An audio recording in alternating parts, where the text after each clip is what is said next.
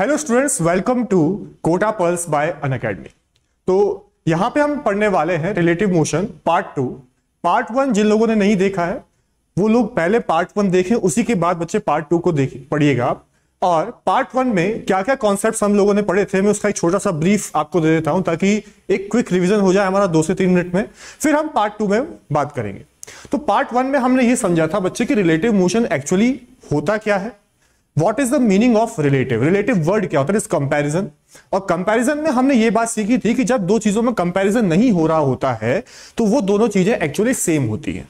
या फिर अगर हम इसको मोशन के टर्म्स में बात करें तो मोशन के टर्म्स में हमें ये समझ में आता है कि अगर दो बॉडीज के बीच में आपको रिलेटिव मोशन दिखाई नहीं दे रहा है तो इसका मतलब ये नहीं है कि दोनों बॉडीज चल नहीं रही है। इसका मतलब ये होता है कि दोनों बॉडीज की वेलोसिटी आपके पास सेम है, ठीक है?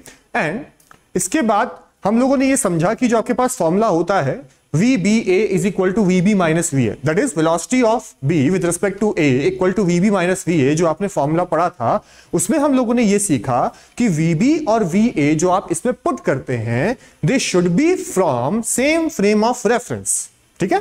They should be from same frame of reference तो फ्रेम ऑफ़ रेफरेंस आपके पास सेम होना चाहिए और जो वी बी ए है equal to V B minus V A ये आपके पास फ्रेम ऑफ़ रेफरेंस से इंडिपेंडेंट आता है। ठीक है? क्यों आता है? ये बात मैंने आपको करने के लिए कहा था। इसका छोटा सा लॉजिक है हमारे पास। छोटा सा लॉजिक ये है कि आपके पास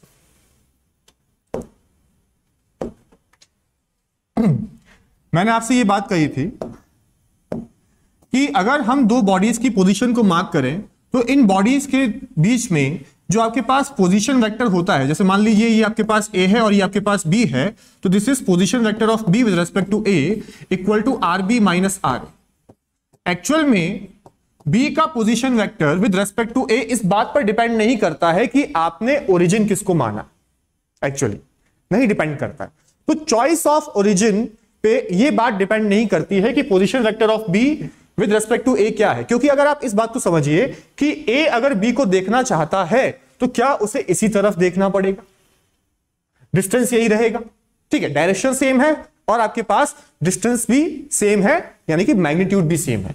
तो क्या ये वेक्टर आपके पास सेम है इंडिपेंडेंट है? इस चीज़ से कि ओरिजिन क्या है? तो इसीलिए जब इसका आप डिफ्रेंसिएशन करते हैं कि इसकी जो आपके पास रिलेटिव पोजीशन चेंज होगा, वो भी फ्रेम ऑफ़ रेफरेंस यानी कि ओरिजिन या ऑब्जर्वर पे डिपेंड नहीं करेगा। ठीक है? अच्छा एक क्वेश्चन हम लोगों ने किया था। आपने शायद उस चीज़ में नोट किया हो कि नहीं किया हो। लास्ट क्लास में हम लोगों ने क्वेश्चन किया ट्रेन वाला। अगर आपको याद हो कि एक आदमी है, या हमारे पास एक बॉय है it is moving with velocity 10 I cap ठीक है? एंड इसको जो ट्रेन है, वो अपियर होते हुए दिखाई देती है इस तरफ़। बात समझिएगा। इसको दिख रही है। किस तरफ़ दिख रही है? ट्रेन चलते हुए दिख रही है ten by three J cap ten by three J cap का मतलब हो गया it is appearing to him moving towards north ऐसा हमने सवाल में लिखा था। ठीक है?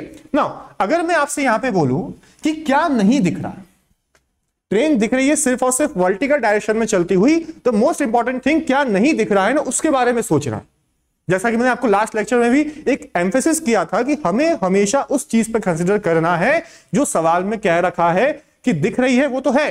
जो नहीं दिख रही है ना, उस पर ज़्यादा कंसेंट्रेट करना। क्या नहीं दिख रहा? हमें नहीं दिख रहा है हॉरिजॉन्टल रिलेटिव मोशन सिर्फ़ वर्टिकल डायरेक्शन में दिख रहा है, या नॉर्थ में दिख रहा है ईस्ट में नहीं दिख रहा है। और ईस्ट में अगर नहीं दिख रहा है तो क्या मैं कह सकता हूँ कि जो ये ट्रेन है, इसकी वेलोसिटी ईस्ट में टेन आई कैप होनी चाहिए। भाई सेम होगी तभी तो नहीं दिखाई देगी। जो चीज़ सेम होती है, वही नहीं दिखाई देती है। तो यहाँ पे आपके पास आएगा ten I cap plus ten by three G cap ये ट्रेन की वेलोसिटी आपके पास आई थी ग्राउंड फ्रेम में एक्चुअल वेलोसिटी जो आपके पास आई थी, ठीक है? तो जिन लोगों को ये क्वेश्चन याद नहीं है, आप एक बार पिछले क्वेश्चन में जाके देखिए और इस ऑब्जर्वेशन के साथ इसको मर्ज करके देखिए डेफिनेटली आपको बहुत फ़ायदा होगा, ठीक है? चलिए, अब यहाँ पे, ये तो हुई पार्ट वन का छोटा छोटा सा रिवीजन अब हम बात करते हैं बच्चे यहाँ पे कि पार्ट टू में हम लोग क्या करने वाले हैं? तो बेसिकली पार्ट टू में हम लोग बात करने वाले हैं इस चीज़ की, कि जो आपने पार्ट वन में रिलेटिव वेलोसिटी निकालना सीखा था, अब हम यहाँ पे थोड़े से क्वेश्चंस और करते हैं। उसी को आगे कंटिन्यू करते हैं और थोड़े बड़े क्वेश्चंस और करते हैं, ठीक है? तो देखिए, यहाँ पे आपके पास जो टॉपिक है it is relative speed speed बच्चे क्या होता है? जैसे आप जानते हैं कि वेलोसिटी है, ये एक वेक्टर क्वांटिटी होती है। तो वेलोसिटी आपके पास एक वेक्टर क्वांटिटी है, इसके पास डायरेक्शन भी है, इसके पास मैग्नीट्यूड भी है।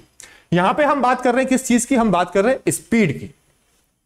स्पीड क्या होता है आपके पास? What is speed magnitude of velocity ठीक है तो रिलेटिव स्पीड मतलब मैग्नीट्यूड ऑफ़ रिलेटिव वेलोसिटी भाई, बहुत सिंपल सी चीज़ है। हम, ऐसा नहीं है कि रिलेटिव स्पीड आके पहले आपको डरा दिया। नहीं सिंपल सिंपल तरीके से समझिए। स्पीड के बारे में आप जानते थे, उसके आगे वर्ड लग गया रिलेटिव तो रिलेटिव वर्ड भी हमने कहाँ से उठाया? रिलेटिव वेलोसिटी से ही उठाया। ठीक है तो एक के रेस्पेक्ट में दूसरे की वेलोसिटी आपको पता है तो वहाँ से आप रिलेटिव स्पीड निकाल सकते हैं, सिर्फ़ मैग्नीट्यूड ले लीजिए, ठीक है?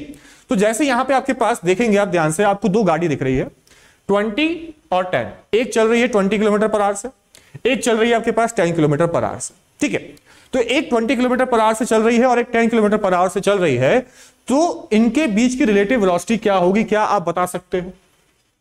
आप आराम से कैलकुलेट कर सकते हो रिलेटिव वेलोसिटी ठीक है? तो कैसे चलेगी ये दोनों? अगर आप इसको देखेंगे तो बेटा कौन तेज चल रहा है? देखिए, ऊपर वाली गाड़ी तेज चल रही है। क्यों? क्योंकि आपको दिया हुआ है कि उसकी स्पीड कितनी है? ट्वेंटी। ठीक है? अब अगर हम इसकी रिलेटिव स्पीड निकालना चाहें, इस वाले सवाल में एक बात नोट करनी है, वो ये नोट करनी है आपको कि जो दोनों गाड़ियाँ हैं आपके पास they are moving in same direction देखिए आप ध्यान से। They are moving in same direction velocity की डायरेक्शन पे आप नोट करिए। यस और नो क्या ये सेम डायरेक्शन में चल रही है? देखो आप ध्यान से। जब भी आपके पास सेम डायरेक्शन में चलेगी तो ऐसा नहीं है कि ये दोनों एरो सिर्फ़ इस तरफ़ होने चाहिए। ये दोनों एरोज आपके पास इसके अपोजिट भी हो सकते हैं। ठीक है? भाई, आपके पास डायरेक्शन ये भी हो सकती है। आपके पास डायरेक्शन ऐसी भी हो सकती है। It can be opposite also but ध्यान देने वाली बात क्या है कि दोनों ऑब्जेक्ट्स जो चल रहे हैं, उनकी डायरेक्शन एक तरफ़ है।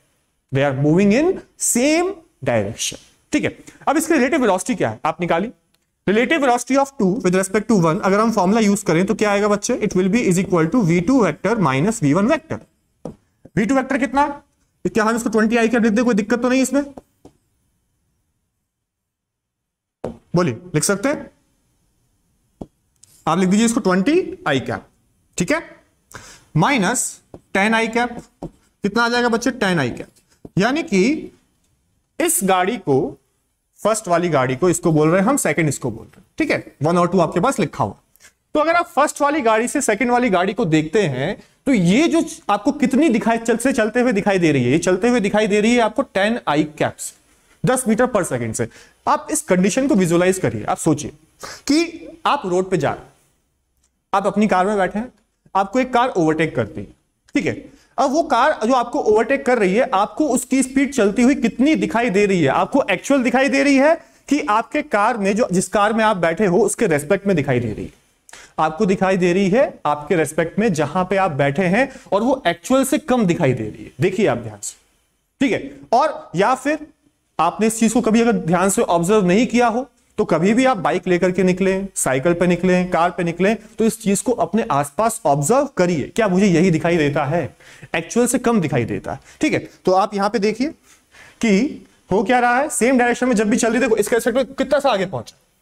ग्राउंड से देखोगे तो कार आपके पास यहाँ से लेकर के यहाँ तक पहुँच गई थी। ठीक है, और दूसरी वाली कार आपके पास यहाँ से लेकर के मान लो यहाँ तक पहुँची। क्योंकि ये भी तो कुछ चलेगी ना।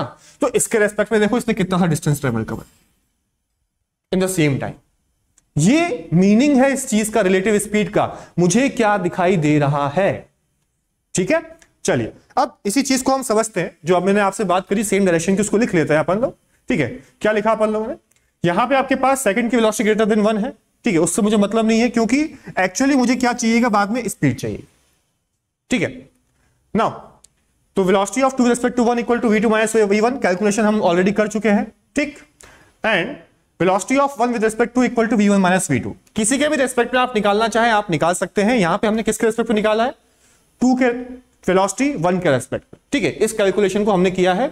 इस कैलकुलेशन को आप करेंगे। ठीक है? इस कैलकुलेशन को अगर आप करेंगे तो क्या आएगा बच्चे? फटाफट से निकालिए।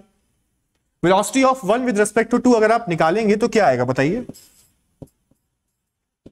बोलो, क्या लिखूं इसको? V1 one minus we formula सामने लिखा हुआ है। यानी कि ten I cap minus twenty I cap is equal to minus ten I cap yes और नो वेलोसिटी आ गई minus ten I cap relative speed क्या रहेगी? आप ये बताइए। आपके पास magnitude of relative velocity magnitude कितना है मेरे पास? मैग्नीट्यूड है मेरे पास टेन यानी कि दिखाई तो दस से ही देगी, लेकिन ये माइनस साइन क्या बता रहा है? बताइए। कि अगर कार नंबर वन को कार नंबर टू इस डायरेक्शन में चलती हुई दिखाई दे रही है पॉजिटिव में तो कार नंबर टू को कार नंबर वन किस तरफ़ चलती हुई दिखाई देगी? क्या अपोजिट में? आप इसको विजुलाइज करिए, देखिए, सोचिए।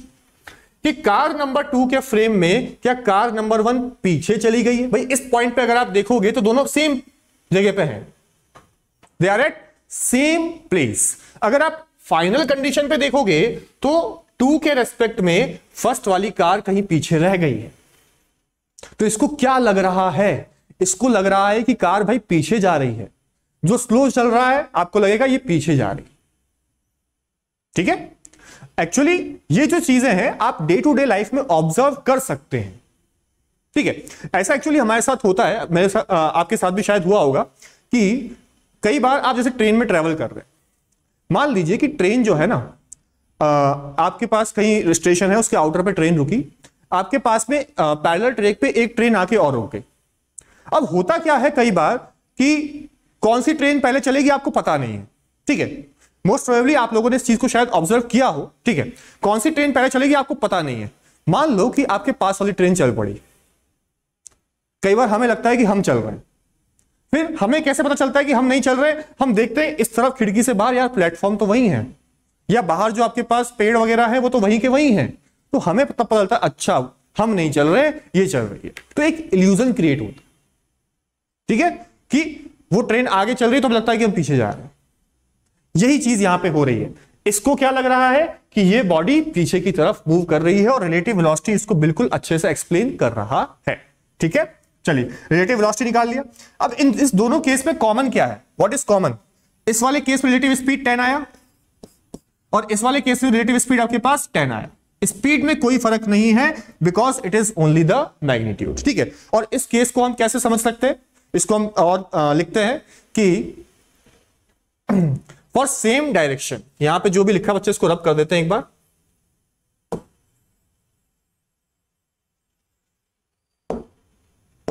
ठीक है? तो for same direction we can write same direction का मतलब जैसा मैंने आपको ऊपर एरो बना के दिखाया था आपको, या तो दोनों इस तरफ़ या दोनों इस तरफ़।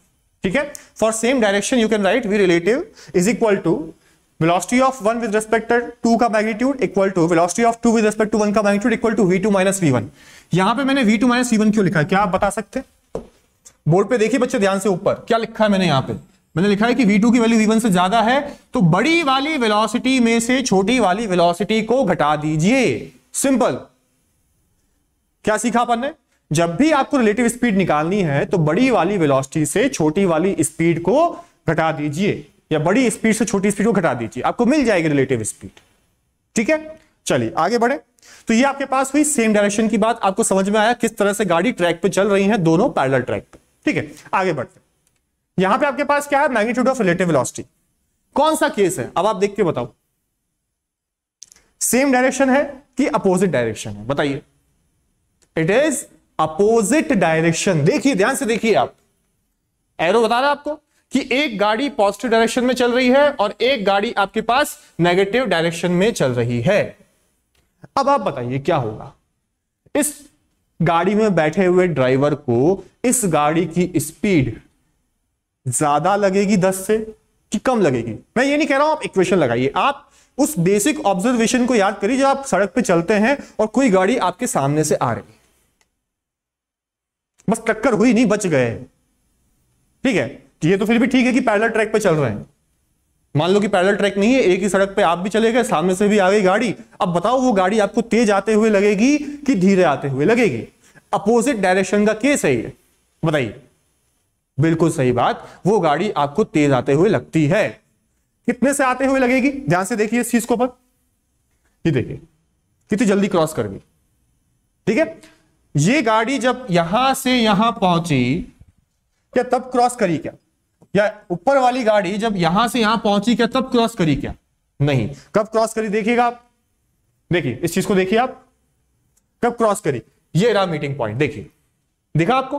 तो मीटिंग पॉइंट ये था तो इन दोनों ने मिलकर डिस्टेंस को कवर किया। दोनों ने मिलकर के डिस्टेंस को कवर किया है। है या नहीं? ठीक है। तो यानी कि दोनों का स्पीड एडअप होना चाहिए। तो हम एक काम करते हैं, पहले हम लिखते हैं वेलोसिटी ऑफ़ टू इसको लिखते हैं ट्वेंटी आई कैप। वेक्टर के साथ लिखे। इसको लिखते हैं टेन माइनस आई कैप। क्या कोई तकलीफ़ इसमें? बहुत सिंपल सी चीज़। ठीक है। तो twenty I cap and minus ten I cap आपने लिखा। अब आप ध्यान से देखिए कि हम ये जो केस पढ़ रहे हैं velocity of two with respect to one कितना आएगा बच्चे? Velocity of two minus velocity of one twenty I cap minus ten of minus I cap equal to thirty I cap. यानी कि मैं फ़र्स्ट कार के रेस्पेक्ट में second की velocity अगर निकाल रहा हूँ तो it will be equal to thirty I cap तीस से चलती हुई लग रही है। अब बताओ ये तीस कैसे आया? अगर मुझे इक्वेशन नहीं आती, मुझे तीस बताना है, बताओ कैसे आया? क्या इन दोनों वेलोसिटीज को, जो मैग्नीट्यूड है ट्वेंटी एंड टेन को, क्या ऐड करके आएगा? यानी कि जब गाड़ी अपोजिट डायरेक्शन में आ रही हो तो दोनों की स्पीड ऐड होके आप रिलेटिव स्पीड निकाल सकते हैं। ठीक है? तो ये आपके पास केस है अपोजिट डायरेक्शन का और velocity of two respect to one आपने निकाल लिया। ठीक है? अगला पॉइंट क्या आएगा बच्चे आपके पास? Velocity of one respect to आप निकालेंगे। तो जस्ट माइनस साइन का डिफरेंस आएगा minus thirty I cap magnitude same आएगा। ठीक है? जैसा पहली स्लाइड में आ रहा था। For opposite direction what is mean by opposite direction बताइए। अपोजिट डायरेक्शन का मतलब दोनों की वेलोसिटी या तो इस तरीके से या फिर इस तरीके से। देखिए आप ध्यान से। सही है? ठीक है। चलिए तो यहाँ पे आपके पास दोनों की वेलोसिटी आपने दिखा दी। तो रिलेटिव वेलोसिटी आपके पास क्या स्पीड क्या आ गया आपके पास बच्चे? V2 two plus v simple add कर दीजिए। ठीक है? क्या कर देंगे? V2 टू प्लस वी तो आप इन दो स्लाइड के बाद अपने आप से एक सवाल पूछिए कि कभी भी आपसे कोई ये बात पूछे कि दो गाड़ी अपोजिट डायरेक्शन में आ रही है। दो बॉडीज अपोजिट डायरेक्शन में आ रही है, दो पार्टिकल्स अपोजिट डायरेक्शन में आ रहे हैं, उनके बीच की रिलेटिव स्पीड क्या होगी, क्या आप बता सकते हो? चलिए, एक क्विक क्वेश्चन का राउंड करते हैं अपन। वो ये कि मान लीजिए कि एक गाड़ी इधर से आ रही दस से, एक गाड़ी आ रही दस से दस से। What will be the relative speed बताइए, कितना होगा? ट्वेंटी एक गाड़ी जा रही है इधर दस से, एक और जा रही है दस से सेम डायरेक्शन में। What will be the relative speed zero same है ना? तो जहाँ सेम होता है, वहाँ पे कुछ दिखाई नहीं देता। एक और पूछ लेते हैं आपसे क्विक सवाल, कि एक गाड़ी चल रही है इस तरफ़ थर्टी से, और दूसरी गाड़ी भी चल रही है इस तरफ़ टेन से। What is relative speed thirty and ten. क्या करेंगे? सब्ट्रैक्ट करेंगे कि ऐड करेंगे? Thirty minus ten equal to twenty क्या आप फटाफट से ये कर सकते हैं? ठीक है तो ये हम क्यों इन सब चीज़ों की बात कर रहे हैं? इतनी छोटी छोटी चीज़ों की बात क्यों कर रहे हैं? बिकॉज़ एक्चुअली क्या होता है कि जब भी हमारे पास कोई बड़ा सवाल आता है या कोई भी एक अच्छा क्वेश्चन आता है तो ये सब उस क्वेश्चन के छोटे छोटे पार्ट्स जो हम यहाँ पे सीख रहे हैं। ठीक है? और ये आपको रियलाइज़ होगा जैसे जैसे आप इस वीडियो में आगे बढ़ेंगे। चलिए नेक्स्ट स्लाइड पे चलते हैं। तो नेक्स्ट स्लाइड पे अगर हम बात करें तो क्या आता है बच्चे देखिए। यहाँ पे आपके पास एक क्वेश्चन है। क्वेश्चन क्या है? Car is moving with velocity 72 kilometre per hour and a bike is moving with speed 50 kilometre per hour इसको आप एक काम कर लीजिए। मीटर पर सेकंड को किलोमीटर पर आवर कर लीजिए, ताकि यूनिट सेम हो जाए। ठीक है? तो एक चल रही है 72 किलोमीटर पर आवर से, और एक चल रही है आपके पास 50 किलोमीटर पर आवर से। ठीक है?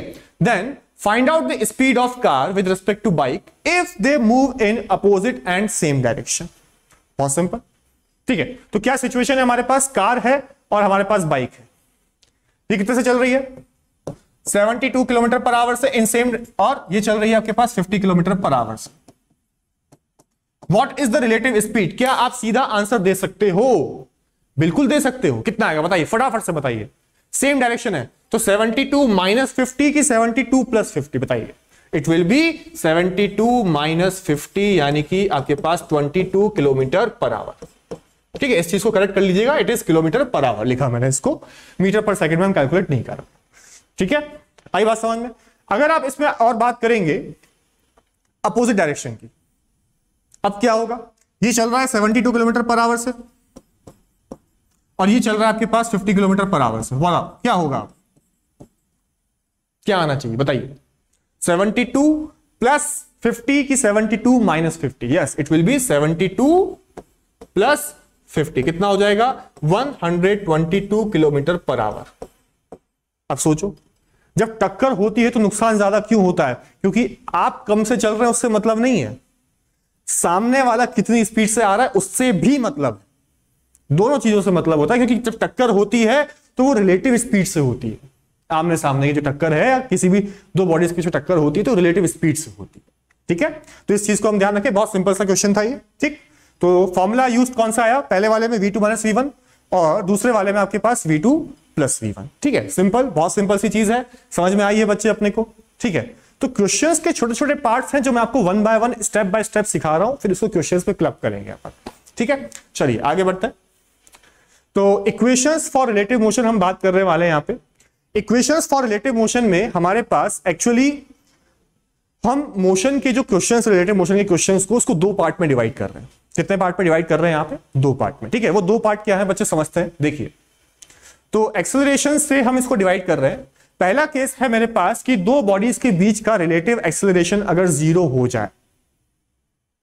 मतलब दो बॉडीज के बीच में आपके पास रिलेटिव एक्सेलरेशन हो गया ज़ीरो और दूसरा वाला हो गया आपके पास रिलेटिव एक्सेलरेशन कांस्टेंट ठीक है? इन दो पार्ट से हमने इसको डिवाइड कर दिया। अब अगर आप एक चीज़ पे ध्यान दीजिए कि आपने इक्वेशंस ऑफ़ मोशन पढ़ी है। ठीक है? इक्वेशंस ऑफ़ मोशन तीन है हमारे पास। कौन कौन सी है? क्या बच्चे आपको याद है? बताइए। V equal to u plus a t है या नहीं? है बताइए। V equal to u plus a t याद है आपको? चार वेरिएबल्स है इसमें। वेक्टर इक्वेशन है ये सारी, ठीक है? दूसरी इक्वेशन डिस्प्लेसमेंट की, s equal to u t plus half a t square क्या ये भी एक वेक्टर इक्वेशन है? साइन के साथ वैल्यूज़ पुट करनी होती है आपको। और तीसरी, v square equal to u square plus two a s ये भी वेक्टर इक्वेशन है। हर इक्वेशन में चार वेरिएबल्स होते हैं। अब ये जो आपके पास v, u और a है इस v, u और a को आप जब पहले कर रहे थे तो बॉडी की वेलोसिटी बॉडी की initial velocity final velocity acceleration displacement सब बॉडी का था। अब मैं आपसे ये कह रहा हूँ कि अगर यहाँ पे किसी भी इस इक्वेशन को आपको रिलेटिव में यूज़ करना है तो आप कैसे यूज़ करेंगे? आप यूज़ करेंगे इन सभी वेरिएबल्स को आप कन्वर्ट कर दीजिए रिलेटिव वेरिएबल्स में। किसमें कन्वर्ट कर दीजिए बच्चे? रिलेटिव वेरिएबल्स में। ठीक है? तो वी यू ए और एस टाइम पे गोला क्यों नहीं मारा? टाइम सबके लिए सेम रहता है बेटा। ठीक है? आपने घड़ी पहन रखी है, आपके दोस्त ने घड़ी पहन रखी है, अगर दोनों की घड़ी सही चल रही है तो अगर आपने कुछ मोशन किया है और आपके घड़ी में पंद्रह सेकंड बीते हैं तो आपके फ्रेंड की घड़ी में भी पंद्रह सेकंड बीते होंगे और टाइम में इसमें कोई रिलेटिव वगैरह कुछ नहीं पढ़ना अपने को इसमें। ठीक है? ठीक है? हम special theory of relativity discuss नहीं कर रहे हैं। यहाँ पे हम सिंपल अपने रिलेटिव मोशन की बात कर रहे हैं, जहाँ पे हम टाइम का रिलेटिव रिलेशन की बात नहीं कर रहे हैं। ठीक है, चलिए। तो यहाँ पे आपके पास v बराबर u plus a t s equal to u t plus half a t square and v square equal to u square plus two s इसको आप लगा सकते हैं यहाँ पे। ठीक है, चलो देखिए। आपके पास पहले, इसको अपन बाद में समझते बेटा, पहले इसको देखिए ध्यान से। क्या यही इक्वेशन आपके पास यहाँ आ गई हैं? देखिए ध्यान से। सब इक्वेशन वही है। क्या चेंज आया आपके पास? कि ये आपके पास ए रिलेटिव देखिए ध्यान से। हर वेरिएबल रिलेटिव हो चुका है। अच्छा। यहाँ पे आपके पास क्या लिखा है बच्चे? इस चीज़ को देखिए ध्यान से। इट इज़ रिलेटिव एक्सेलरेशन अगर ज़ीरो अगर इन सभी इक्वेशन में मैं रिलेटिव एक्सेलरेशन अगर ज़ीरो कर दूँ आप ध्यान से देखिए। अगर एक्सेलरेशन रिलेटिव आप ज़ीरो कर दें मान लो कि मैंने इसको ज़ीरो किया तो क्या मिला मुझे? V और u बराबर। V और u बराबर का मतलब कि बॉडी के बीच की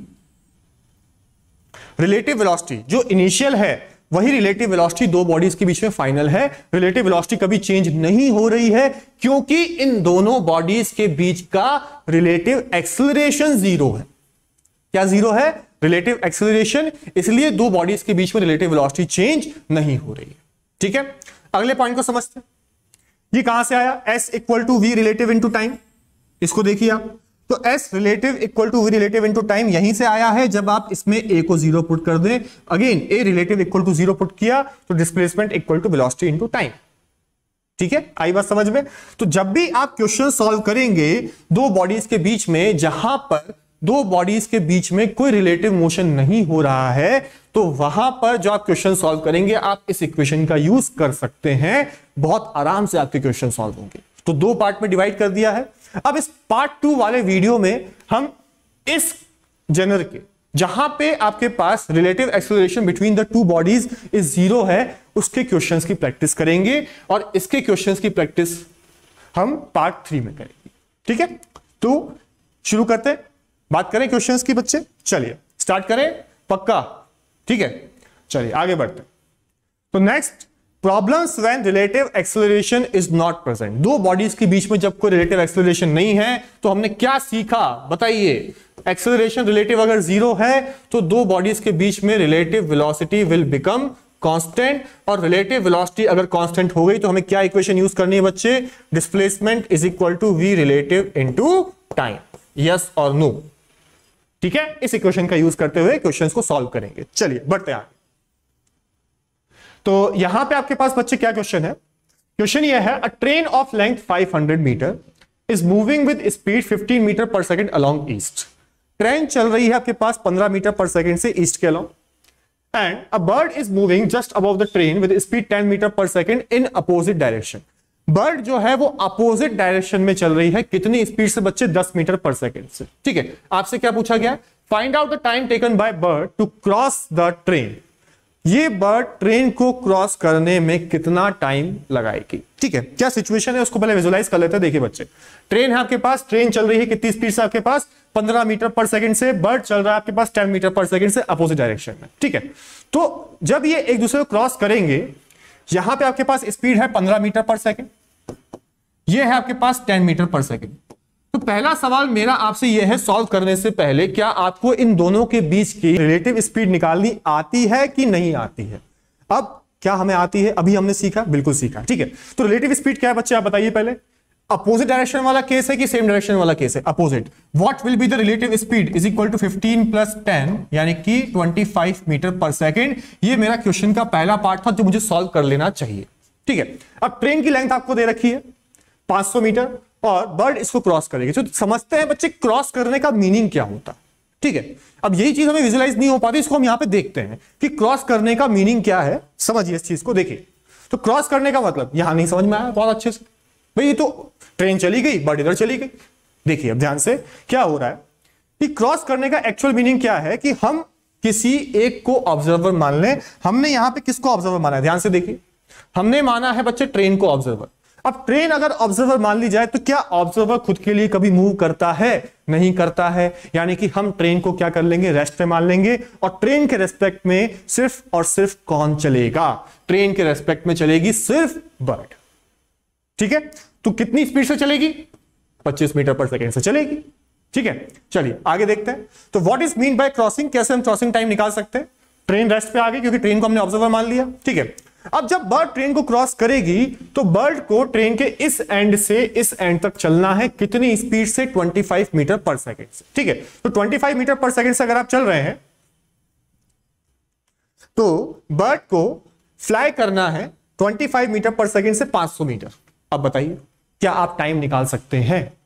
बोलिए, निकाल सकते हैं कि नहीं निकाल सकते? ठीक? तो velocity of bird with respect to ten तो हम निकाल ही चुके रिलेटिव स्पीड ठीक? तो ये आपके पास बर्ड इस पॉइंट से इस पॉइंट तक फ्लाई करती हुई चली गई, यानी कि 500 मीटर इसको चलना है। कितनी स्पीड से 25 की 25 मीटर पर सेकंड की स्पीड से क्या आप टाइम निकाल सकते हैं? बिल्कुल निकाल सकते हैं। आपके पास फॉर्मूला था s relative equal to v relative into time कितना आ जाएगा बेटा? यानी कि 20 seconds you will get the answer ठीक है, बहुत सिंपल सा सवाल है। क्या आपको ये चीज़ विजुलाइज हुई है कि what is actually mean by crossing important ये है। ठीक है, सवाल का आंसर आ गया, कोई दिक्कत नहीं सवाल का आंसर तो सवाल तो हम दोबारा बना लेंगे, कोई बड़ी बात नहीं। ट्रेन की लेंथ चेंज कर दो, दोनों की वेलोसिटी चेंज कर दो, नया सवाल बन जाएगा। बट क्रॉसिंग का मीनिंग क्या है? क्या आपको समझ में आई बात? यस वेरी गुड चलिए, आगे बढ़ते हैं नेक्स्ट क्वेश्चन पे। देखिए फॉर्मुला लगा दिया आंसर आ गया। Two train of same length अब इस क्वेश्चन में थोड़ा सा ट्विस्ट है, पिछले क्वेश्चन से थोड़ा सा चेंज किया। पहले आपके पास जो क्वेश्चन था, उसमें ट्रेन की लेंथ तो थी बट बर्ड को क्या हम एक पॉइंट ऑब्जेक्ट की तरह मान सकते थे? और हमने पॉइंट ऑब्जेक्ट माना भी सही। भाई, इस ट्रेन के रेस्पेक्ट में बर्ड की साइज़ कुछ मैटर ही नहीं करती ना। लेकिन अब क्या दोनों ऑब्जेक्ट्स की लेंथ कंसिडर करनी पड़ेगी? क्योंकि आपने दो ट्रेन ले ली और दोनों की लेंथ यहाँ पर आपको दे रखी है। कितने कितने से चल रही है? एक चल रही है 12 मीटर पर सेकंड से, एक चल रही है 13 मीटर पर सेकंड से on parallel track find out the time of crossing if they move in same direction पहला सवाल है ये। दूसरा रहेगा हमारा वही अपोजिट डायरेक्शन ठीक है? तो जब दो ऑब्जेक्ट्स की आपको लेंथ दी जाए तो हम क्रॉसिंग टाइम कैसे निकालें? इस चीज़ को हम लोग समझ लेते हैं। ठीक है? चलिए, आगे बढ़ते हैं, देखते हैं। क्या हो रहा है? इस चीज़ को समझिए। एक ट्रेन चल रही है 13 मीटर पर सेकंड से, एक चल रही है 12 मीटर पर सेकंड से। इस समय पे एक का एंड पॉइंट और एक का स्टार्ट पॉइंट एक जगह पे है। कैसा दिखता है क्रॉसिंग रियल लाइफ में, उसको देखते हैं पहले। तो रियल लाइफ में आपको क्रॉसिंग कुछ इस तरह की दिखाई देगी। बट इससे सवाल सॉल्व नहीं हो तो मुझे समझना पड़ेगा what is actually meant by crossing ठीक है? तो सबसे पहले यहाँ पे सवाल जो है आपके पास सेम डायरेक्शन का है तो सेम डायरेक्शन में what will be the relative speed क्या आप निकाल चुके हैं अभी तक? एक की स्पीड 13 दे रखी है, एक की स्पीड आपको 12 मीटर पर सेकंड दे रखी है। What is relative speed relative speed is 13 minus twelve is equal to one metre per second ठीक है? बहुत आराम से आप निकाल सकते हैं। थर्टीन ठीक है? चलिए, आगे बढ़े। तो क्रॉसिंग कैसी दिखती है या how to solve the question तो हमें एक को ऑब्जर्वर मानना पड़ेगा। एक ट्रेन को रेस्ट पे लेके आना पड़ेगा और उसके रिलेटिव हम दूसरे को चलाएँगे। तो एक के रिलेटिव जो दूसरी ट्रेन चलेगी तो what is mean by crossing देखिए, इसको हमने ऑब्जर्वर मान लिया बी वाली को। बी के रिलेटिव ए चल रही है कितने से? एक की स्पीड दे रखी ट्वेल्व एक की दे रखी थर्टीन तो इसकी ट्वेल्व थी, इसकी थर्टीन थी, और रिलेटिव स्पीड कितनी आ गई? रिलेटिव स्पीड आ गई आपके पास, दोनों को माइनस किया वन मीटर पर सेकेंड ठीक है? चलिए, अब आगे बढ़ते हैं। तो कैसे ये एक दूसरे को क्रॉस कर रही है, समझिए। यहाँ से यहाँ तक इस ट्रेन को क्रॉस करना है। देखिए वी रिलेटिव निकाल लिया अपन लोगों ने। इसको अपन यहाँ से रब कर देते बेटा, एक मिनट। ठीक है, जो अपन ने डेटा लिखा है, इसको रब कर देते हैं। और v v minus v a की जो वैल्यू है आपके पास it is equal to one metre per second ठीक है? अब आप ध्यान से देखिए क्रॉसिंग कैसी दिखाई देती है? देखिए, ये ट्रेन चली। क्या ये ट्रेन इस नीचे वाली ट्रेन को क्रॉस कर चुकी है क्या? बताइए। क्रॉस कर चुकी है, नहीं किया है। क्रॉसिंग एक्चुअली अगर आप देखोगे तो बच्चे ऐसे दिखती है कि जब ये ट्रेन इस ट्रेन से पूरा आगे निकल जाएगी। अब आप मुझे ये बताइए कि ये ट्रेन एक्चुअली इस चली कितना है? भाई 75 मीटर ये, इसकी लेंथ? और 75 मीटर ये ये लेंथ। तो इस ट्रेन का जो स्टार्टिंग पॉइंट है, जो पहले इस जगह पे था, वो यहाँ से कितना आगे चल चुका है? ये चल चुका है 75 plus 75 is equal to 150 metre और कितनी रिलेटिव स्पीड से 1 मीटर पर सेकंड से? तो बच्चे, कितना टाइम निकलेगा? क्या हम बहुत आराम से निकाल सकते हैं? ठीक है, समझ में आया आपको कि जब आपके पास दो ऑब्जेक्ट्स हैं दोनों का आपको क्रॉसिंग टाइम निकालना है और दोनों की लेंथ अगर आपको दी हुई है तो क्रॉसिंग दिखती कैसी है? बात समझ में आई? ओवरटेक करना है या क्रॉस करना है, इसका मतलब है कि इसकी से पूरा आगे निकलना है आपको। तो 150 मीटर, एक मीटर पर सेकंड से टाइम आ जाएगा आपके पास। 150 सेकंड कोई बड़ी बात नहीं है। इसको सॉल्व करना, क्या चीज़ें विजुअलाइज हो रही हैं बच्चे अपने को? बोलिए। ठीक है? तो ये आ गया आपके पास। 150 सेकंड्स फॉर्मूला यूज़ यही वाला। ठीक है? एक और, इसका वही अपोजिट डायरेक्शन तो अपोजिट में आपके पास ट्रेन की इस केस पे रिलेटिव स्पीड कितनी आएगी? फटाफट से बताइए। इसमें अब टाइम वेस्ट नहीं करना ये बात हम पहले सीख चुके हैं। ठीक है? कितना आएगा? एक की स्पीड 13 एक का 12 अपोजिट डायरेक्शन में है 13 प्लस ट्वेल्व क्या रिलेटिव स्पीड आपके पास 25 मीटर पर सेकेंड आ जाएगी? और क्रॉसिंग दिखती आपके पास कुछ ऐसी है। अब इससे कैसे समय निकालें? एक को रोकना पड़ेगा। ठीक है? तो हमने क्या बोला? एक ट्रेन को ऑब्जर्वर बना दीजिए। ठीक है, एक ट्रेन को ऑब्जर्वर बनाया, मान लो इसको हमने ऑब्जर्वर बना दिया तो क्या ये ट्रेन हमारे पास रेस्ट पे आ गई? बिल्कुल रेस्ट पे आ गई। अब क्रॉसिंग का मतलब देखिए आप ध्यान से। V a plus v b आप निकाल लेंगे। क्रॉसिंग का मतलब आपके पास वही, फिर से, कि पूरा लेंथ आपको कवर करना और पूरा लेंथ जब आप कवर करेंगे तो वही आ जाएगा 75 प्लस 75 इज़ इक्वल टू कितना? 150 मीटर, लेकिन इस बार जो आपके पास रिलेटिव स्पीड है, वो आएगी बच्चे 12 plus thirteen is equal to 25 metre per second तो 150 मीटर चलना है s relative is equal to v relative into time कितना टाइम लगा बताइए इस बार? आपको लगेगा समय 6 सेकेंड यस और नो चेक करिए बेटा फटाफट से। क्या चीज़ें सॉल्व करने के साथ साथ आपको विजुअलाइज भी हो रही हैं? ये इंपॉर्टेंट है। ठीक है? क्या आपको चीज़ें समझ में आ रही है बच्चे? बिल्कुल, चलिए, बहुत बढ़िया। आगे बढ़ते, देखिए। तो यहाँ पे यही फॉर्मुला था हमारे पास, एक और क्वेश्चन देख लेते हैं।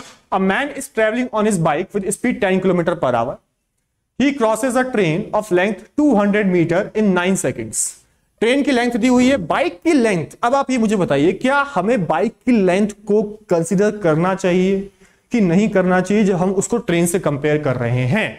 बताइए। जस्ट कॉमन कॉमन क्वेश्चन है आपसे कॉमन सेंस का क्वेश्चन है कि जब हम ट्रेन की लेंथ को आपको सवाल में दे चुके हैं और सवाल में बाइक की लेंथ दी नहीं है तो क्या हम इसको कंसिडर करें? ऑब्वियसली ज़रूरत नहीं है, क्योंकि ट्रेन आपके पास काफ़ी अच्छी खासी लेंथ की होती है बाइक की लेंथ उसके रेस्पेक्ट में नेग्लिजिबल है, इसीलिए ये डेटा यहाँ पे दिया हुआ नहीं है। ठीक है तो क्या ये सवाल आपके पास कुछ वैसी सिचुएशन नहीं हो गई? बर्ड और ट्रेन क्रॉसिंग वाली? ठीक है? लेकिन एक्चुअली क्या है कि वहाँ पे आपसे टाइम पूछा था। यहाँ पर टाइम दिया हुआ है और टाइम देकर के आपसे एक ट्रेन एक ऑब्जेक्ट या आप कह सकते हो ट्रेन की आपको वेलोसिटी पूछ ली गई। ठीक है? चलिए सॉल्व करते हैं। कैसे सॉल्व करेंगे? देखिए बच्चे। तो यहाँ पे आपके पास अपोजिट डायरेक्शन में है। तो इनके बीच की बच्चे रिलेटिव स्पीड क्या होगी? It will be v plus ten होगा या नहीं होगा? बताइए। तो वी प्लस टेन आपकी स्पीड है। ट्रेन की लेंथ कितनी है बच्चे? 200 मीटर 200 मीटर चलने में कितना समय लग रहा है? यहाँ पे 9 सेकेंड ठीक है? तो फॉर्मुला यूज़ कौन सा? S relative equal to v relative into time क्योंकि दोनों ऑब्जेक्ट्स की वेलोसिटी आपके पास कांस्टेंट है एंड यहाँ पे दोनों का एक्सेलरेशन नहीं है रिलेटिव एक्सेलरेशन आपके पास ज़ीरो है तो हम यूज़ करेंगे s relative equal to v relative into time use कर सकते हैं? चलिए, देखिए। तो क्या हो गया? क्रॉस किया आपने? क्रॉस करने में आपके पास डेटा है speed relative speed v plus ten है लेंथ है ट्रेन की 200 मीटर ठीक है? तो 200 मीटर की आपके पास लेंथ है। तो यहाँ पे फॉर्मूला को थोड़ा सा मॉडिफाई कर दिया है आपकी सुविधा के लिए। क्या है कि sum of length of both both the bodies देखिए एस रिलेटिव हम कैसे निकालें? अगर आपको कभी तकलीफ़ हो, ठीक है? तो it is actually equal to 200 metre train की लेंथ है बाइक की लेंथ मुझे कंसिडर करनी नहीं है plus zero plus distance between them अगर गिवन है तो इस सवाल में ध्यान से देखिए, क्या बाइक और ट्रेन के बीच का डिस्टेंस गिवन है? डिस्टेंस गिवन नहीं है। तो मैं क्या मानूँगा कि ट्रेन और बाइक का इंटरसेक्शन स्टार्ट हो चुका है एंड अब ये क्रॉस कर रही है। आपसे इसकी बात करिए। मान लो आपको बोल दिया जाए कि ट्रेन और बाइक में इनिशियल डिस्टेंस हज़ार मीटर है तो क्या उस हज़ार मीटर को चलने के लिए भी टाइम कैलकुलेट करना पड़ेगा? तो एस रिलेटिव में वो भी काउंट होगा। अब इस वाले क्वेश्चन में आपको नहीं दिया है तो I will write it as zero तो कितना आ गया? एस रिलेटिव वही 200 मीटर तो 200 मीटर चलना है बच्चे v प्लस टेन से. तो s relative equal to v relative into time हमारे पास फॉर्मूला है. ठीक है?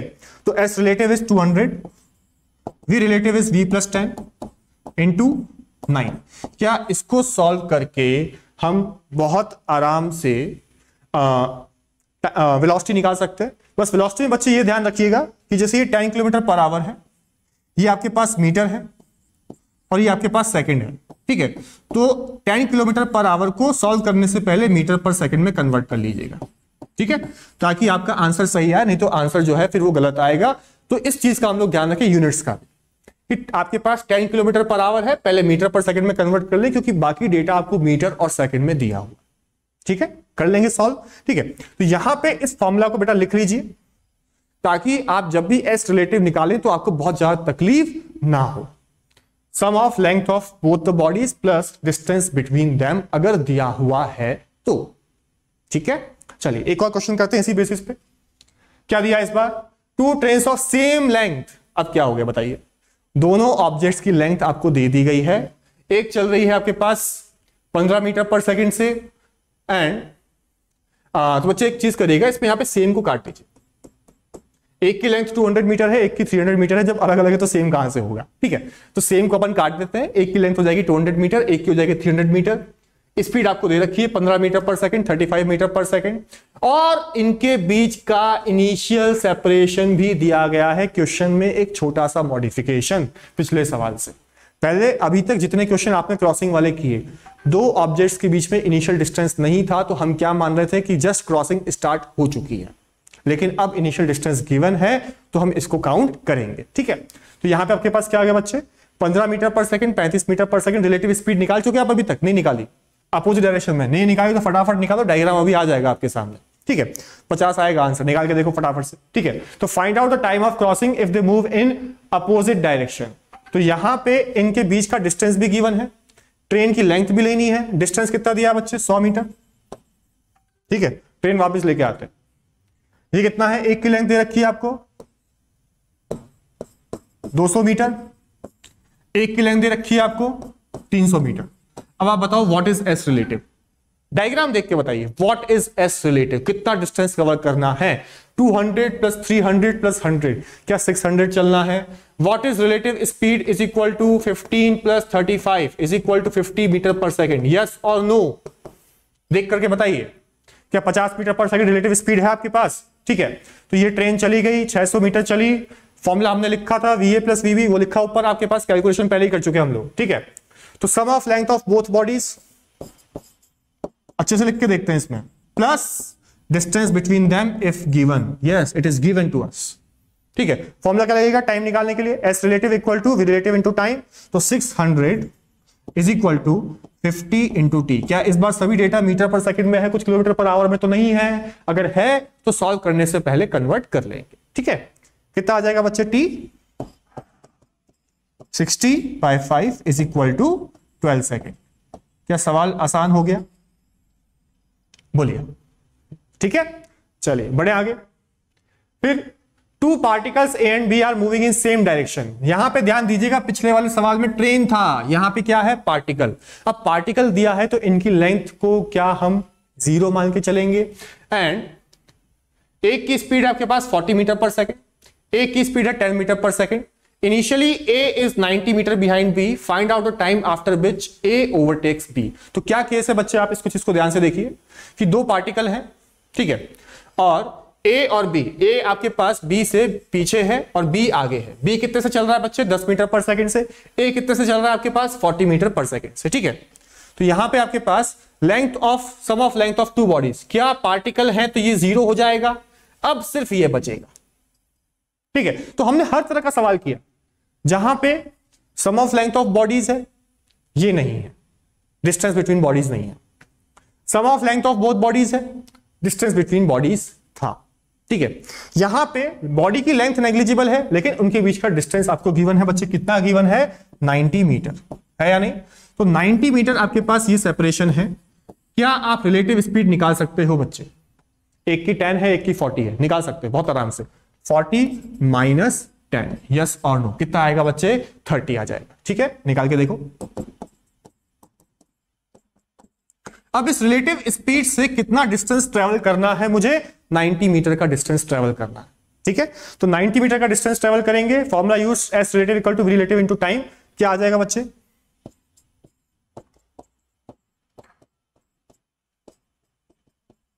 तीन सेकंड लगे। ठीक है? बड़े आगे। चलिए, एक और सवाल। Two car A and B moving in opposite direction with speed 10 metre per second and 15 metre per second respectively दोनों कार की स्पीड दे रखी है आपको। If initial separation between both car is 100 metre then find out the time after which both cars will meet ठीक है? Opposite direction में चल रही है। What is the relative speed आप इस सवाल को बिना पैन उठाए कर सकते हैं अब। क्या है रिलेटिव स्पीड बताइए। कितनी है? Ten plus fifteen, twenty five. Add क्यों किया? क्योंकि अपोजिट डायरेक्शन वाला केस है। ठीक है? दोनों के बीच का सेपरेशन कितना बच्चे आपके पास? सेपरेशन है आपके पास सौ मीटर ठीक है? सेपरेशन सौ मीटर है। दस मीटर पर सेकंड पंद्रह मीटर पर सेकंड इनकी स्पीड दे रखी है तो रिलेटिव स्पीड पच्चीस मीटर पर सेकंड आ गई। और क्या दोनों कार की आपको लेंथ गिवन है? और लेंथ गिवन नहीं है तो हम उस पर ध्यान नहीं देंगे। ठीक है? गिवन होगी तो कंसिडर करेंगे। जैसे ट्रेन वाले केस में आपको लेंथ दिया हुआ था। ठीक है? तो क्या आंसर आ गया आपके पास? आंसर आ जाएगा वैसे इसका, जो लोग जो लोग सॉल्व कर चुके हैं अभी तक 100 by twenty five is equal to four second ठीक है? देखिए बेटा। तो ये वाला केस हो गया अपोजिट डायरेक्शन का। Length of two body zero plus hundred metre ठीक है?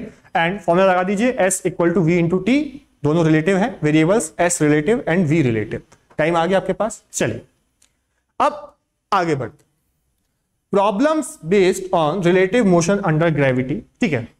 जब दो बॉडीज ग्रेविटी में है, या फ्री फॉल वाली केस में है आपके पास तो वहाँ पे जो प्रॉब्लम्स हैं, उसको हम कैसे सॉल्व करें? देखिए तो क्या चीज़ यहाँ पे इंपॉर्टेंट है? क्यों हम इसको A relative equal to zero वाले सेक्शन में ही कंटिन्यू कर रहे हैं? पहले मोशन अंडर ग्रेविटी की बात क्यों कर रहे हैं? समझिए, देखिए, मान लीजिए आपके पास दो बॉडीज है एक को आपने ऊपर फेंका, एक को आपने नीचे फेंका। इस पे आप या दोनों को आपने ऊपर फेंक दिया। ठीक है? दोनों को नीचे नहीं फेंक सकते, ये ग्राउंड पे ही है। ठीक है? अब इसको आप ऊपर भी फेंक सकते हैं, इसको आप नीचे भी फेंक सकते हैं। कहीं भी फेंक सकते हैं, इसकी वेलोसिटी आप ऊपर भी दे सकते हैं, इसकी वेलोसिटी आप नीचे भी दे सकते हैं। दोनों केस में इस ब्लू वाली बॉल का एक्सेलरेशन क्या होगा? बताइए। Acceleration will be equal to 10 metre per second square gravity है ना? डाउनवर्ड डायरेक्शन में। इस बॉल का एक्सेलरेशन कितना होगा? 10 मीटर पर सेकेंड स्क्वायर वो भी डाउनवर्ड डायरेक्शन में। ठीक है? अब हुआ क्या? ध्यान से देखिए। जब आप मोशन अंडर ग्रेविटी की बात करते हैं तो यहाँ पे ग्रेविटी किसी बॉडी में कोई भेदभाव नहीं कर रही है। सब पे क्या सेम अमाउंट ऑफ़ एक्सेलरेशन लग रहा है? 10 metre per second square 10 metre per second square. तो क्या यहाँ पे रिलेटिव एक्सेलरेशन ज़ीरो हो गया? एक्सेलरेशन हो, हो रहा है।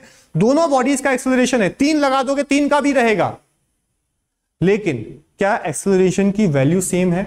और एक्सेलरेशन की वैल्यू सेम होने की वजह से जो दो बॉडीज फ्री फॉल में हैं उनके बीच का रिलेटिव एक्सेलरेशन आपके पास ज़ीरो ठीक है? तो ये उसी कैटेगरी के सवाल हो गए जो भी आप कर रहे हैं। देखिए पार्टिकल्स वाले। देखिए आप ध्यान से। तो यहाँ पे यू रिलेटिव मान लीजिए कि एक की वेलोसिटी आपके पास v1 है, एक की वेलोसिटी आपके पास v2 है। ये सेम डायरेक्शन में भी हो सकती है, ठीक है? ये अपोजिट डायरेक्शन में भी हो सकती है। सेम डायरेक्शन में अगर ये बॉडीज चल रही हैं, क्या मुझे रिलेटिव स्पीड निकालनी आती है? बिल्कुल आती है। अपोजिट डायरेक्शन में चल रही है, क्या मुझे रिलेटिव स्पीड निकालनी आती है? बिल्कुल आती है, ठीक है? तो यू रिलेटिव मैं निकाल सकता हूँ, बहुत आराम से। या तो v1 माइनस वी टू या v1 plus V depending they are moving in same direction और अपोजिट डायरेक्शन डिस्प्लेसमेंट रिलेटिव दे रखा होगा इसके बीच का कि भाई ये क्या है, कब मिलेगी, इस तरह के सवाल आपके सामने आ सकते हैं, ठीक है? अगला वेरिएबल ए रिलेटिव ये मेरे लिए बहुत इंपॉर्टेंट है। दोनों का एक्सेलरेशन 10 और डायरेक्शन भी सेम इक्वल टू ज़ीरो तो ए रिलेटिव अगर आपके पास ज़ीरो हो गया तो क्या ये वैसे ही सवाल हो गए कि जो दो पार्टिकल चल रहे थे, कुछ वेलोसिटी से आपको दे दिया था, कब मिलेंगे, कब नहीं मिलेंगे, क्या वही सवाल है? तो जो आप अभी हॉरिजॉन्टल में पार्टिकल्स को फेंक रहे थे, कुछ नहीं किया, उन पार्टिकल्स को वर्टिकल में आपको दिखा दिया गया है। क्यों? सेम है, क्योंकि relative acceleration is still zero ठीक है? चलिए, आगे बढ़ते हैं इस पे। यही फॉर्मूला आप यूज़ करेंगे कि रिलेटिव एक्सेलरेशन आपके पास ज़ीरो है S relative equal to V relative into time इसको लिख लीजिएगा। ठीक है? चलिए। तो यहाँ पे आपके पास एक क्वेश्चन है इसी में बेस, छोटा सा। A ball is projected vertically upward from ground with speed 100 metre per second एक बॉल को ग्राउंड से ऊपर फेंका गया है। Another ball is dropped simultaneously from height 500 metre जिस बॉल को ड्रॉप किया है बच्चे, उसकी इनिशियल वेलोसिटी क्या होगी? बताइए। ज़ीरो दोनों के बीच का सेपरेशन कितना है बच्चे आपके पास? 500 metre and find out the time when they cross each other time की बात कर रहे हैं सबसे पहले। अच्छा अगर आपसे टाइम की बात नहीं भी करी होती तो भी मैं आपसे कहूँगा कि आप सबसे पहले टाइम निकालिए। क्योंकि जो टाइम है, वो दोनों बॉल्स के लिए सेम रहेगा। किन दोनों के लिए? आप इसको पहले देख लीजिए। जो दो बॉल आपको दिखा रखी हैं कि होगा क्या। यहाँ से छोड़ने के बाद क्या ये दोनों बॉल्स किसी पॉइंट पर आके मिलेगी? दोनों का एक्सेलरेशन सेम है तो रिलेटिव एक्सेलरेशन आपके पास ज़ीरो हो गया। जिस पॉइंट पे आके मिलेगी, जितना ये बॉल चलेगी और ये बॉल चलेगी, उसका सम आपको दे रखा है 500 मीटर। चलेगी अलग अलग लेकिन मैं एक बात पे श्योर हूँ कि अगर आपने साइमल्टेनियसली इसको रिलीज़ किया है और इसको वेलोसिटी दी है, एक ही समय पे तो जितना समय के लिए आपके पास ये बॉल चली है, क्या उतना ही समय के लिए ये बॉल भी चली है? टाइम सेम है। टाइम पे ध्यान दीजिए, अगर टाइम नहीं भी पूछा होता अगेन आई एम रिपीटिंग कि टाइम नहीं भी पूछा है ना, सबसे पहले आप टाइम कैलकुलेट करिए। बिल्कुल करिए। क्यों? अब अगर आप टाइम निकाल चुके हैं तो आप इन दोनों बॉडीज को अलग अलग भी सॉल्व कर सकते आपसे पूछ ले कि जब मिले थे तो बताओ ब्लू वाली बॉल की वेलोसिटी क्या हुई थी? V बराबर यू प्लस एटी उसके लिए अलग लगा दो टाइम तो है ना आपके पास। ब्लू वाली बॉल का डिस्प्लेसमेंट कितना था? S equal to UT plus half AT square time है आपके पास। तो मेन चीज़ है आपको टाइम निकालना आना चाहिए। कैसे निकालेंगे बच्चे? क्या आप इनकी रिलेटिव वेलोसिटी बता सकते हैं? हंड्रेड माइनस ज़ीरो ये आ गया आपके पास 500 मीटर। रिलेटिव स्पीड आपके पास 100 आ गई। टाइम पूछा है। बताओ फटाफट। 500 hundred equal to hundred into T क्या पाँच सेकेंड आंसर आना चाहिए? चेक कर लेते हैं। देखिए। ठीक है? तो आप लोगों ने सवाल किया, ये यहाँ पे आके मिली, कितनी वेलोसिटी लाल बॉल की थी, कितनी वेलोसिटी नीली बॉल की थी, सब आप निकाल सकते हो, ठीक है? लेकिन पहले आपको क्या निकालना पड़ेगा बच्चे? पहले निकालना पड़ेगा आपके पास टाइम ठीक है? तो यहाँ पे इसको हमने एक्सप्लेन किया है with the respect to red ball कि रेड बॉल के रेस्पेक्ट में क्या हो रहा है? रेड बॉल के रेस्पेक्ट में आपके पास ये वाली बॉल 100 मीटर पर सेकंड से नीचे आ रही होगी जो आपने 100 metre per second relative speed निकाली है। ये देखिए। एक रेस्ट पे आ गया, दूसरा चलता हुआ लगेगा 100 मीटर पर सेकंड से। टकराएगी, कितना चलना है आपके पास? 500 मीटर। ठीक है, यू रिलेटिव आ गया आपके पास 100 एस रिलेटिव कितना आ गया बच्चे आपके पास? 500 मीटर। देखो, बॉल आ भी गई। ठीक है 500 मीटर चल गई। क्या लगेगा आपके पास समय? Five second. और यहाँ पे अगर आप ध्यान से देखोगे तो ये फॉर्मूला आपके लिए दोबारा लिख के दिया गया है। क्यों? क्योंकि बिल्कुल वैसा ही केस है टू पार्टिकल वाला, जहाँ पे दो पार्टिकल्स के बीच में रिलेटिव एक्सेलरेशन ज़ीरो था। ठीक है, अब टाइम आ गया। टाइम आपके पास पाँच सेकेंड आ गया, बात ही खत्म हो गई। अब मान लो कि फॉर एग्ज़ाम्पल इस पर नहीं लिखा। है मैं आपसे बोलू displacement of blue ball when they meet तो क्या सवाल आ गया यहाँ पे? वेन वेन मतलब समय। क्या समय हम निकाल चुके हैं? पाँच सेकेंड। कितना डिस्प्लेस करी होगी? यू रिलेटिव यू रिलेटिव ज़रूरत नहीं है। आप इसको अलग से सॉल्व कर रहे हैं। तो ब्लू बॉल की इनिशियल वेलोसिटी कितनी बच्चे ज़ीरो टाइम लगा पाँच सेकेंड। एक्सेलरेशन है आपके पास। Ten metre per second square in downward direction into T square T मतलब आपके पास फाइव कितना आ जाएगा ये? Zero plus one by two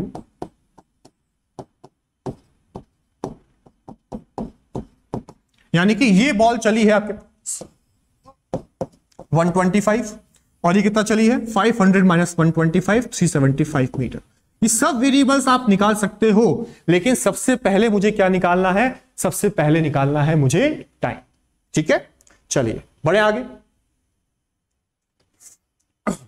Next question two stones A and B are projected simultaneously along the same line A is projected vertically upward from ground with speed 20 meter per second and B is projected vertically downward from height 40 meter with same speed. दोनों की speed same है। Find time after which both particles will collide ठीक है? तो क्या condition है? फटाफट से देखते बेटा। दो बॉल है आपके पास। दोनों की वेलोसिटी आपके पास 20 मीटर पर सेकंड एक नीचे और एक ऊपर। इनकी रिलेटिव स्पीड क्या होगी? बताइए, फटाफट से। कौन सा केस है? अपोजिट डायरेक्शन वाला कि सेम डायरेक्शन वाला? यस अपोजिट कितना आएगा? 40 मीटर पर सेकंड आएगा। ठीक है? 20 प्लस ट्वेंटी इक्वल टू 40 ठीक है? अब आप ध्यान से देखिए। रिलेटिव एक्सलेशन अगेन ज़ीरो क्योंकि दोनों का एक्सलेशन जी है। ठीक? ये बॉल यहाँ पे आके मिली। तो यू रिलेटिव कितना आएगा बच्चे? बोलो। 40 डिस्प्लेसमेंट रिलेटिव क्या दी है? टावर की हाइट आपको 40 मीटर तो रिलेटिव डिस्प्लेसमेंट इन दोनों के बीच का इट इज़ 40 आपसे क्या पूछा है? टाइम पूछा है तो ए रिलेटिव तो ज़ीरो आ गया। Formula use S is equal to V into T ये बार बार आपके लिए लिख रहे हैं। क्यों? ताकि आप इसको भूलें नहीं। Sum of length of both bodies इन दोनों की लेंथ लेने की ज़रूरत है क्या? ज़रूरत नहीं है। क्यों नहीं है? पार्टिकल्स है, पत्थर है छोटे छोटे ठीक है। डिस्टेंस बिटवीन देम आपके पास 40 था तो ये अपन ने एस रिलेटिव लिख दिया। ठीक है। क्या समय लगेगा बच्चे? समय लगेगा आपके पास 40 is equal to forty into T time आ जाएगा आपके पास वन सेकेंड अब वन सेकेंड में कौन कितना चला? कितने से चल रहा है? क्या सब वेरिएबल सॉल्व किए जा सकते हैं बहुत आराम से? बिल्कुल किए जा सकते हैं, कोई बड़ी बात नहीं है। ठीक है इंपॉर्टेंट फैक्टर क्या है? इंपॉर्टेंट फैक्टर है टाइम क्योंकि वो दोनों के लिए सेम है। ठीक है, चलिए, एक और। A body is dropped from an aeroplane which is moving horizontally with constant speed u at some height. What will be the path of body? तो ये एक सिंपल सा सवाल है. What will be the path of body with respect to observer present इसको कर लीजिए बेटा ऑन ग्राउंड ठीक है? And with respect to observer present inside the plane तो दो फ्रेम से आप देख रहे हैं. दो ऑब्जर्वर के लिए बॉल का पाथ कैसा होगा? क्या सिचुएशन है? एक प्लेन है. प्लेन से आपने बॉल को ड्रॉप किया प्लेन चल रहा है आपके पास हॉरिजॉन्टल वेलोसिटी यू से। तो क्या प्लेन में रखी हुई हर ऑब्जेक्ट की वेलोसिटी आपके पास सेम रहेगी जो प्लेन की है? तो अगर आप बॉल को ड्रॉप कर देते हैं तो क्या बॉल के पास भी वेलोसिटी बच्चे यू ही आएगी? आएगी कि नहीं आएगी, बताइए। ठीक है यू वेलोसिटी आपके पास आएगी और ये यू वेलोसिटी से चलेगा। एंड जैसे ही प्लेन से ये बाहर निकला, क्या ये फ्री फॉल में आ गया है? इसका पाथ कैसा होगा? मतलब आप ये मान के चलिए कि आपने इसको ऐसे यू वेलोसिटी से फेंका है किसी हाइट से। क्या पाथ होगा कैसा मोशन करेगा ये? ये करेगा आपके पास प्रोजेक्टाइल मोशन ठीक है? तो प्रोजेक्टाइल मोशन में बॉडी का जो पाथ है वो कैसा दिखना चाहिए? दैट इज़ ड्रॉइड ठीक है? तो ये इस तरह का पाथ बॉडी जो है फॉलो करेगी पैराबोलिक पाथ ठीक है? अब क्योंकि दोनों की वेलोसिटी आपके पास सेम है, कौन सी? हॉरिजॉन्टल तो क्या दोनों के बीच में कोई हॉरिजॉन्टल रिलेटिव मोशन होगा क्या? नहीं होगा, क्योंकि रिलेटिव मोशन वही नहीं होता जहाँ पे चीज़ें सेम हो जाती हैं। ठीक है? चलिए तो यहाँ पे आपके पास with respect to observer on ground ये वाला पाथ होगा ग्राउंड वाले ऑब्जर्वर के लिए। And with respect to observer present inside the plane क्या पाथ होगा हमारे पास? देखते हैं इस चीज़ को। इनसाइड द प्लेन वाले के लिए आपके पास कोई हॉरिजॉन्टल में रिलेटिव मोशन नहीं है तो क्या बॉल हमेशा प्लेन के एग्जैक्टली exactly नीचे रहेगी? तो प्लेन को क्या लग रहा है? कि जब प्लेन यहाँ पर है तो बॉल यहाँ है। It is just moving in vertically downward direction with respect to observer present inside the plane तो what will be path of body? पैरा पहले वाले का होगा? पैराबोलिक पाथ आएगा आपके पास।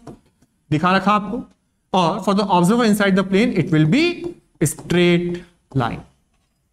ठीक है? हॉरिजॉन्टल वेलोसिटी सेम है तो हॉरिजॉन्टल में रिलेटिव मोशन दिखाई नहीं देगा। ठीक है? चलिए, एक और सिंपल सा सवाल करते हैं यहाँ पे। मोशन अंडर ग्रेविटी का। A train is moving horizontally with constant speed train का कंपार्टमेंट बना लिया अपन ने, सस्ती वाली ट्रेन है, चलेगा। ठीक है? A boy inside a train projects a stone vertically upward इस आदमी ने पत्थर को ऊपर फेंका। कैसे वेलोसिटी दी? वर्टिकल वेलोसिटी दी इन द वर्टिकल ठीक है, ऊपर की तरफ़ इसने वेलोसिटी दिया। What will be the path of stone again दो ऑब्जर्वर के लिए।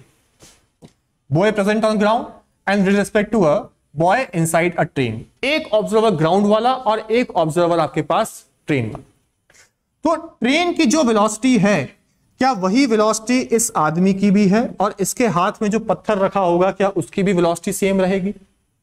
यानी कि अगेन हॉरिजॉन्टल डायरेक्शन में कोई रिलेटिव मोशन नहीं होगा। ठीक है? तो सबकी वेलोसिटी आपके पास हॉरिजॉन्टल सेम है। आपने इस बॉल को दो वेलोसिटी दे दी।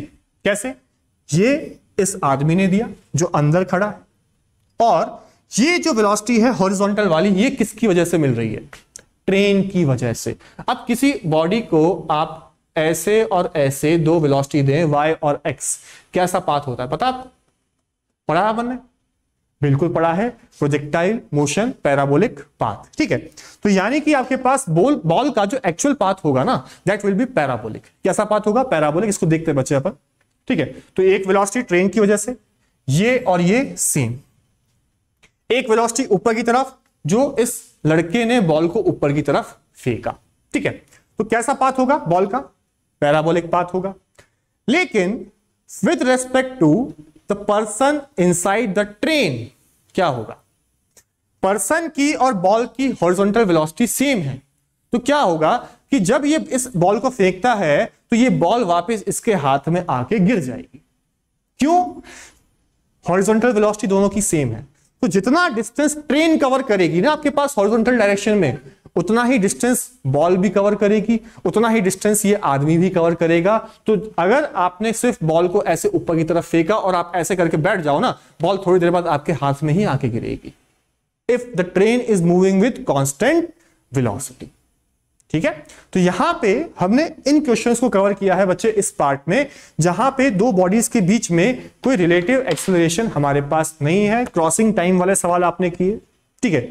किस तरह का मोशन आपको दिखाई देगा in different frames for projectile motion ठीक है? अब नेक्स्ट पार्ट में we will be going to cover the questions where there is relative acceleration involve between the two particles दो पार्टिकल्स के बीच में जहाँ पर रिलेटिव एक्सेलरेशन है, उन क्वेश्चंस को हम लोग कैसे सॉल्व करें, उसके लिए पार्ट थ्री ज़रूर देखिए।